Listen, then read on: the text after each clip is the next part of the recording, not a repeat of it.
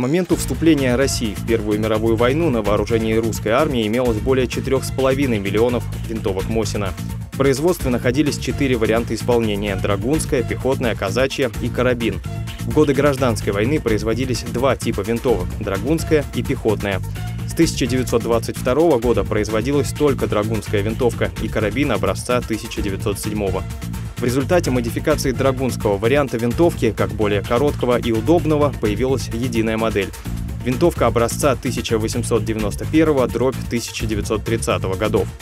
В 1928 году в Советском Союзе запустили в серию оптические прицелы, разработанные для установки на винтовку образца 1891 года. В 1932 году началось серийное производство снайперской винтовки образца 1891-30-х годов.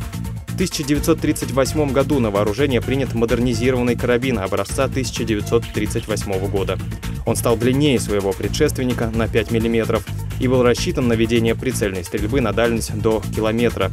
Карабин предназначался для различных родов войск, в частности, артиллерии, саперных, кавалерии, подразделений связи и служащих материально-технического обеспечения. Например, водителей транспорта, которым было необходимо легкое и простое в обращении оружие большей частью для самообороны. Последним из вариантов винтовки стал карабин образца 1944 года, отличавшийся наличием несъемного игольчатого штыка и упрощенной технологии изготовления.